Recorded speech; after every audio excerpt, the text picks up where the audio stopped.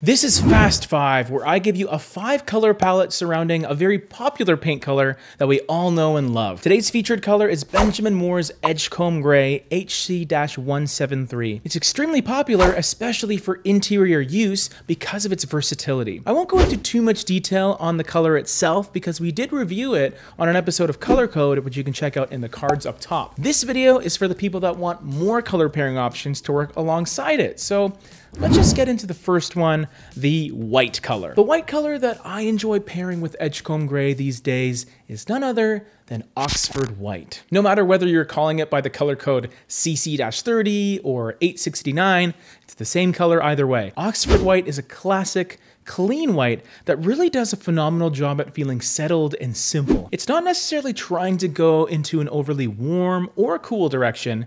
It just sort of has this lovely little balance of white with a touch of cream and a touch more of gray. As the white color pairing, Oxford White makes for a wonderful baseboard color for Edgecomb Gray walls, and I've used that combination more times than I can remember. Not only that, it's a color you can continue onto your doors, your frames, your windows, and even on your ceiling because of how clean and neutral it ends up feeling. I've used Oxford White all over a house for that reason alone. Like everything inside. So a color like that really allows Edgecomb Gray's subtle undertones to be featured because it's not trying to compete with it. And I think that's very important in this case. Next, we're going from white to light and that color is a la mode. This is a color from the Color Preview collection by Benjamin Moore, and it's notated by the color code 2109-70. Sometimes when I have a light color pairing for an already fairly light color like Edgecomb Gray, I sometimes go with something similar, so you can kind of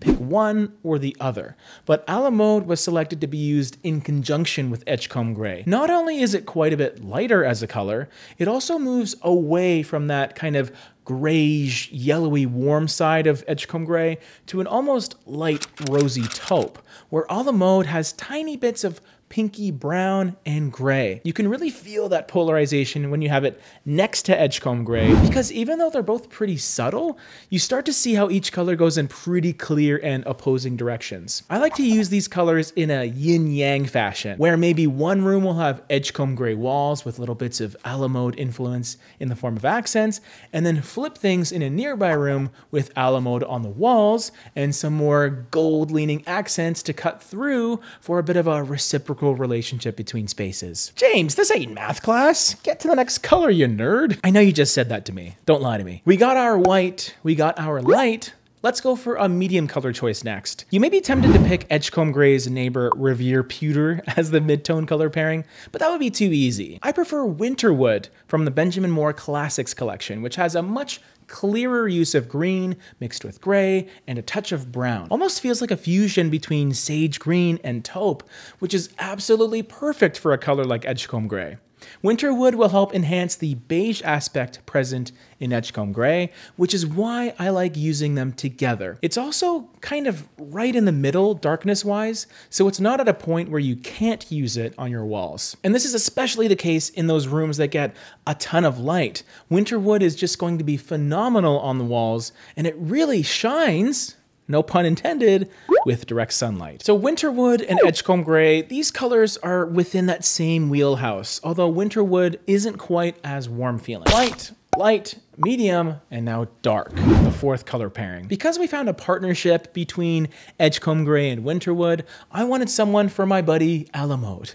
And that paint color is Gray Mountain. This is a stormy, red undertoned taupe from the Benjamin Moore Classics collection, color code 1462, and it has a noticeable increase in depth from the other colors. Of course it does, it's the dark color pairing. It's gotta be dark, right? What's fun here is Gray Mountain actually complements Winterwood and Edgecomb Gray, where the undertones are sort of competing to give you a more dynamic look.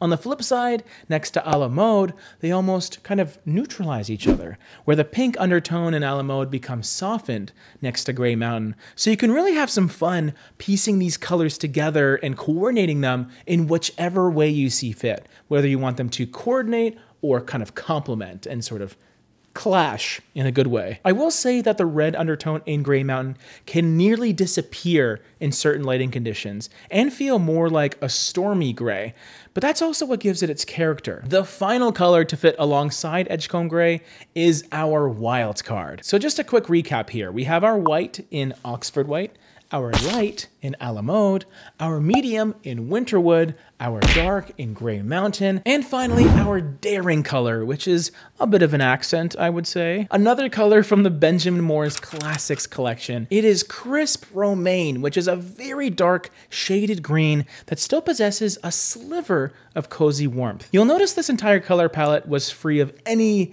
unapologetically blue cool colors. So I wanted to continue that trend, but also give you something that had a strong color hue to change things up. There, a fast five color palette for Edgecomb Gray. I'll try and be faster next time.